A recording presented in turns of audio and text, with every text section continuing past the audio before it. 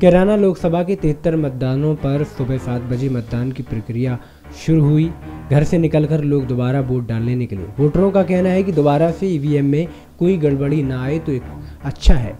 लोगों को कहना है कि बहुत अच्छा लगा कि मैंने वोट डाला। कड़ी सुरक्षा के बीच हो रहे दोबारा रिपोलिंग में 28 मई को कैराना लोकसभा चुनाव हुए थे, जिसमें कई ईवीएम खराब होने के कारण आज 30 मई को तिहत्तर बूथों पर दोबारा मतदान हो रहे हैं।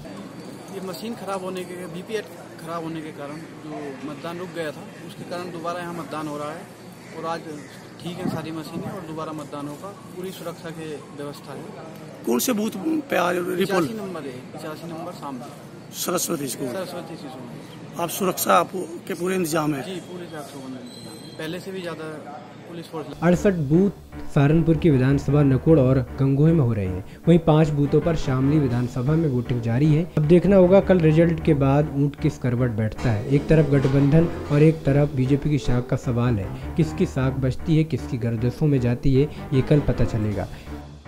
एस पी एन नाइन की रिपोर्ट।